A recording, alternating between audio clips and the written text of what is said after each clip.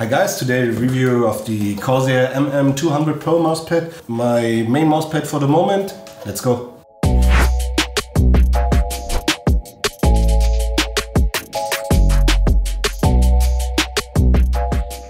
So guys, today, um, as I said, I will review these MM200 Pro mousepad, which is one of the last mousepads Corsair released in Europe.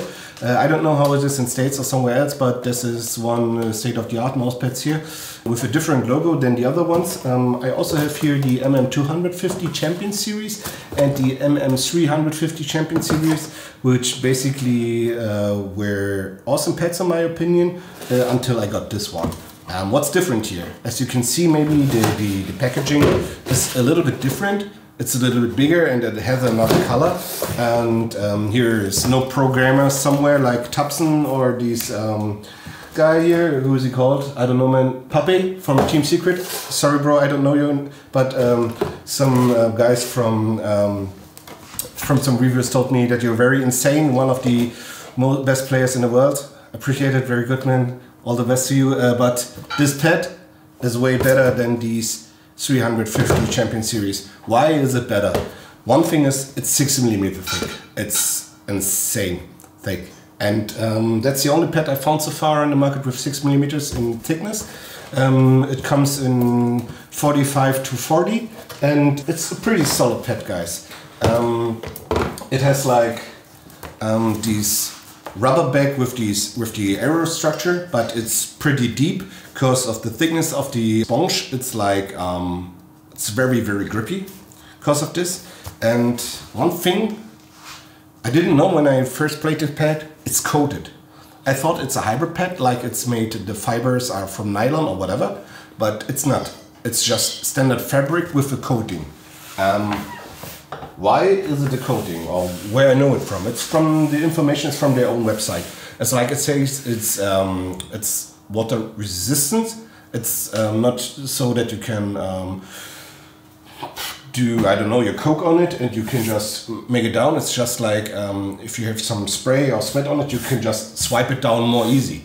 But the um, the liquid will go into the texture if it's longer on the pad. So it's not totally um, waterproof it's just uh, has a higher resistance against water.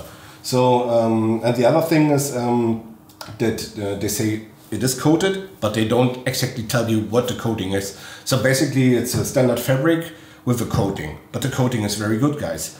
Um, I'm playing it like 10 days now, I think, um, 8 to 12 hours a day, um, live on stream, Valorant and KovaaK's, and uh, I can tell you um, that you can see me. I'm a rough dude. I play with. Uh, I play the, the whole time with my sleeve, which is a rough one. It's not like a, a, a sleeve made out of nylon or synthetic. It's pretty rough, and um, I play the whole time here. And I play with nearly my whole arm on the on the pad, so my mouse is only at the top end.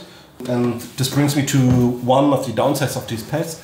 The edges of the pads will come up a little bit um, my mouse cable, uh, my paracord, uh, put it up the, the, the edges a little bit. Uh, we will make a close-up of this for you so you can see it. And um, my sleeve um, also rubs up the other side, uh, so the the side of the bottom of the pad, uh, so it comes up a little bit. I will watch this for the for the future. Um, I hope it will not slip up in total, so the pad the pad gets uh, loose on these points or unplayable but my impression in total is that this is a pretty solid pad for 29 euros.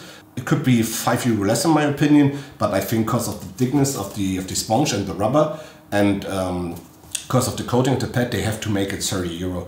Uh, I think this one will cost in production like uh, 12 to 15 euro in my opinion.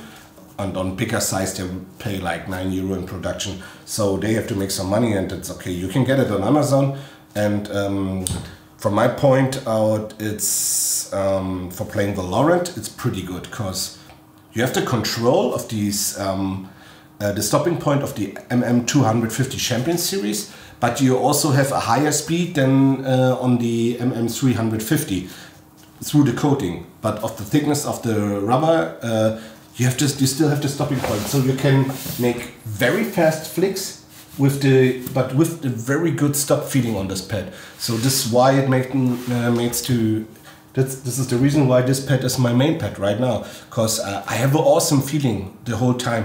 I don't have to think about uh, is it too fast, is it too slow. It's just right for me. That's the pad.